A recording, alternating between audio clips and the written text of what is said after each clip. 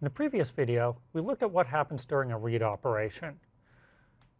We put our request on the bus, and the slave device fulfills that request. Unfortunately, things don't really work out quite that nicely in reality.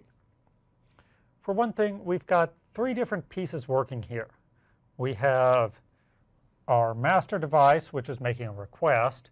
It would like to start making that request at the beginning of the clock cycle, but the clock generator is not in the CPU, it's actually elsewhere. So there's actually a delay between the clock as generated, the clock as seen by the CPU, and also the clock as seen by the slave device. So now none of these devices are actually seeing what's really being done. Our clock signal is no longer perfectly square.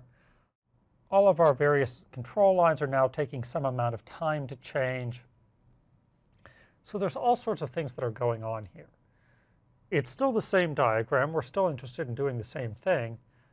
But now we've included all of the extra elements that we get from various delays in our system. The clock is probably going to be closer to our CPU, so there isn't a huge delay between the beginning of the actual clock cycle and when the CPU puts its request on the bus.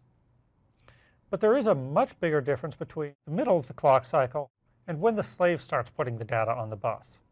As far as the slave is concerned, it's still putting this data on halfway through the clock cycle. It just sees a shifted clock cycle. This will produce a couple of problems for us. One is that, well, we have to make sure that the data from our I.O. device has had a chance to get back to the master and be stored.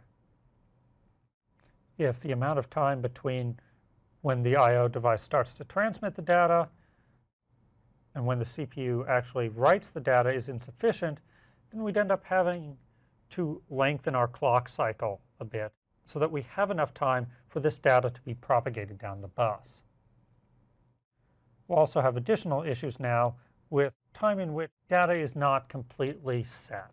Some of our control lines have been set, but others haven't yet.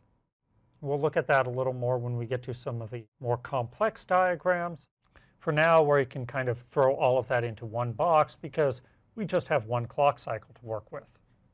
Once we have multiple clock cycles or no clock cycle at all, then we'll have to deal with all of these little bits that can get us in trouble.